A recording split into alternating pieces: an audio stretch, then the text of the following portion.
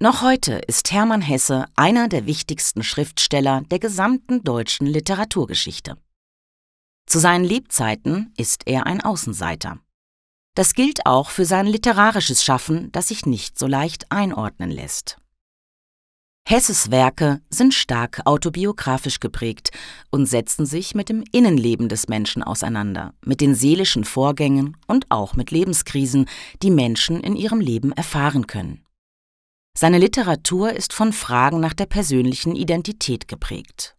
Es geht ihm um die Überwindung von seelischen Krisen und den Versuchen, sich selbst zu deuten.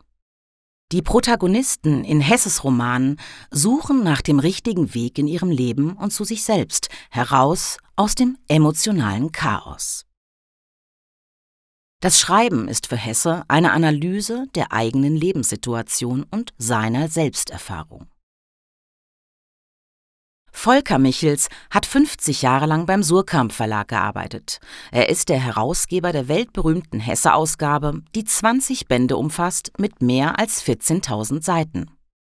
Die Wirkung von Hermann Hesse ist wirklich erstaunlich, vergleichbar unter den Autoren seiner Generation eigentlich nur mit äh, Thomas Mann oder mit Stefan Zweig.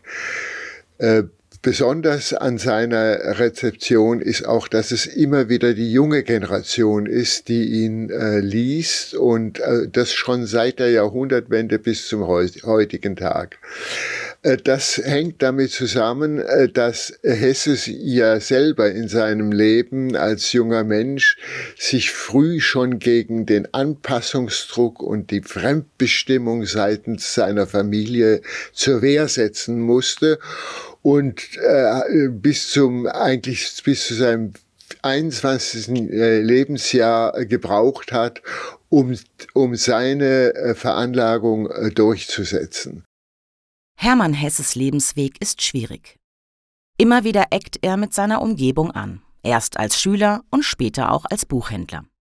Er hat einige große Lebenskrisen, gescheiterte Ehen, Probleme mit seiner Arbeit und Angstzustände. Mehrere Male wird er psychiatrisch behandelt und wird in Nervenheilanstalten untergebracht. Diese Erlebnisse und sein überragender Schreibstil sind der Grund, dass er viele Leser gewinnen kann. 1946 wird Hesses Gesamtwerk mit dem Nobelpreis für Literatur ausgezeichnet